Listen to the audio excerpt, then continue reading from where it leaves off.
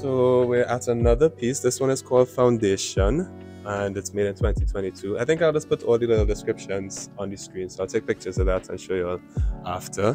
Um, but we were looking at this one earlier, and this one is the one that stood out to me when I came first, before all the emotional stuff. This one stood out to me as one of the better or the best piece here in terms of its craftsmanship, in terms of the color theory, the elements of design, the principles of design.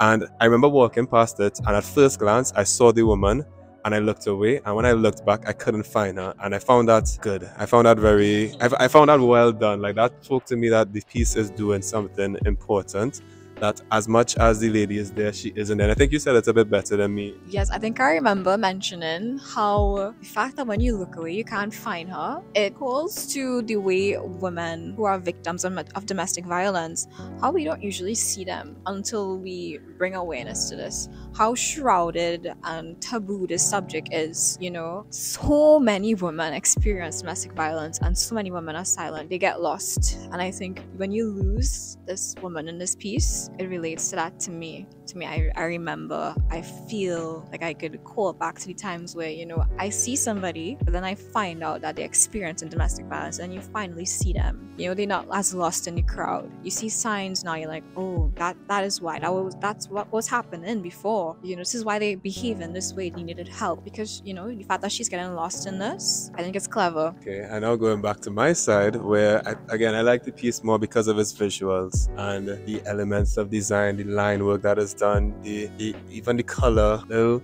like palm trees and little details that you really don't notice until you actually come to the piece and examine every little rectangle in it.